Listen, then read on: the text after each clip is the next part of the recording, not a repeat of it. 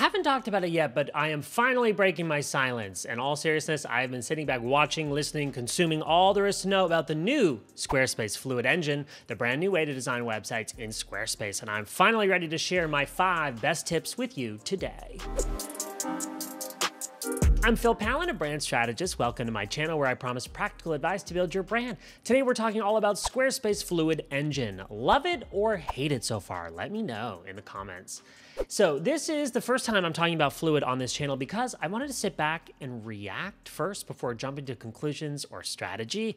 But after I have been using this on my own website and my clients' websites, I am ready to share some insight. Fluid Engine is Squarespace's latest content editing experience. That's how they're describing it. It's available now on 7.1 and there are totally new options for block placement, resizing, and overlapping, which is exciting, but some are also expressing concern that it might be too flexible for people that aren't designers. It's definitely easier to mess up a design now versus before, but fret not, I still think this is more positive than negative. Here are five actionable tips for the new Squarespace Fluid Engine. Get ready. Tip number one try the new Fluid engine in a low stakes environment. Don't go and mess up your own website. In Squarespace, it's really easy to try new things on the back end of your existing website under not linked, or Squarespace makes it really easy to start a new website trial that you don't have to pay for right off the bat if you want to play it really safe and experiment completely off your own website account. I will show you. So every time you go to add a new page to your website, it is going to default to the new Fluid editor. So if I go ahead here and add a blank page, I won't give it a special name or anything. When I go into edit mode, you will see right away here, if I go to add a new section, you're going to see all new types of content sections and all of these are in fluid and they're going to be fun to to play with the first time that you go to try this because there are some really nice layouts. Remember to keep your new page under not linked as you can see here so that it doesn't accidentally appear in your navigation. And if uh, when you're done playing around with it you want to make sure that it doesn't come up in search engines. For example you could just disable this page or simply add a password so that's if you want to keep that page uh, on the back end of your website uh, and keep it private. The other option you have is to completely start a new website um, trial. So you would go ahead here uh, on the Squarespace website and click Get Started, and that's going to help you get set up with a brand new trial that you don't have to worry about. You get a lot of months on there without having to pay for it, so that's uh, that's another good option. So let's keep going. Tip number two: avoid the upgrade button. Avoid the dreaded, misleading upgrade button that will now appear in the top right corner on a page or block using the Classic Editor. Do not click this. It is not an upgrade. Once clicked, you cannot undo the change. So the wise thing to do would be to duplicate the block that you want to try upgrading first. But even then, I'm not sure it's a good idea. And I will show you this right now.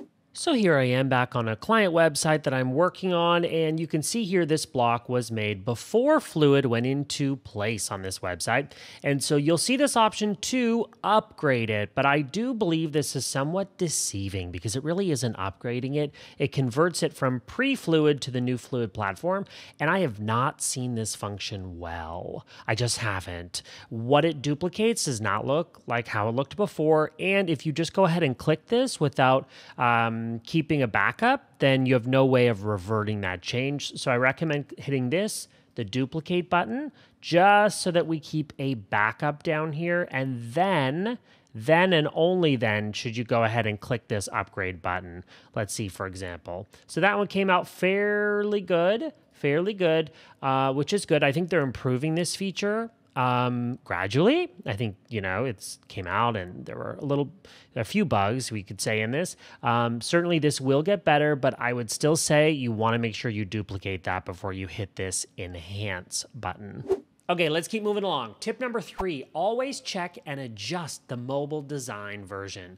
This is completely new in Squarespace. The fact that you can customize a website on mobile independent of the desktop site, but be careful. When using Fluid Engine, the page sections will appear on mobile in the order that you create them, which is a bit strange and we're not used to this, and it might require reordering. And I'll explain right now with some visuals.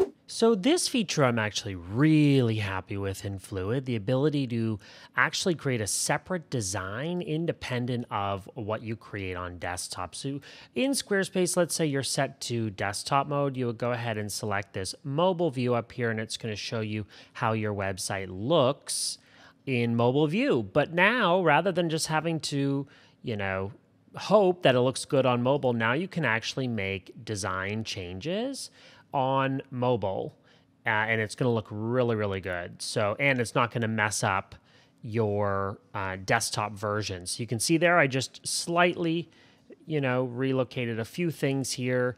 I can customize the design until I'm happy with it, and I can go ahead and click save, and I can be happy knowing that that's not going to mess up my design on desktop. Now, the one thing you're going to want to be careful with is um, one thing that's a little bit strange if you're not used to it is that as you add new blocks of content on the desktop version, it will order the blocks that you create in the order that they're created. So let me explain. Let's say I built, you know, these portions of the website here. I'll need some adjustments there on the mobile version as you can see. But let's say I created these blocks and I went back and added this one up here, then this one would be at the bottom because it was created more recently. So it's just going to take a little bit of um, reordering, which is really easy to do in Squarespace. So if I go back to mobile view, I've got this option. The arrows allow you to move an entire block uh, up and down, and you can get it looking just so. Okay, tip number four, take advantage of new split layout capabilities. This one excites me. For years, I've had to integrate custom code to be able to do a split layout like this or like this. And now you won't even need custom code to achieve this if you're using Fluid Engine. I'll show you how. It's pretty exciting that now this block that would have required custom code to create before is now possible here in Fluid. So you would click that add block button up on the left. I'm not going to do it, but you would click that and it would give you some options, including a photo, which you could pop and drag to half, halfway, so you can see it here about halfway to the screen. And then you would just add some text and a button and you can style that accordingly. Again, before this was not possible to do what we would call traditionally a split layout. And now it's totally possible without custom code. Tip number five, limit your creativity. And I mean this in the best way possible. This feels like a step in the right direction, giving users more flexibility over the finished design on desktop and on mobile. They are certainly making an effort to keep up with their competitors. I've always said that Squarespace is the best platform for designers, people who are experienced and familiar with design principles, as well as the interface, the Squarespace interface, and its ability to customize it to make it look completely unique versus looking like a template. I think that Fluid Engine is the perfect solution for us, for designers. For the everyday user looking to create their own website, I think the truth is it's harder because now more things can go wrong. Now, overlapping elements like text and image, different layouts on web and mobile. There's just a lot to consider design wise, in addition to form and functionality. When in doubt, hire an expert, get some help. I won't be cutting my own hair anytime soon because I am not a barber. I leave that to a professional, and I strongly suggest you do the same when it comes to your website if that's a possibility.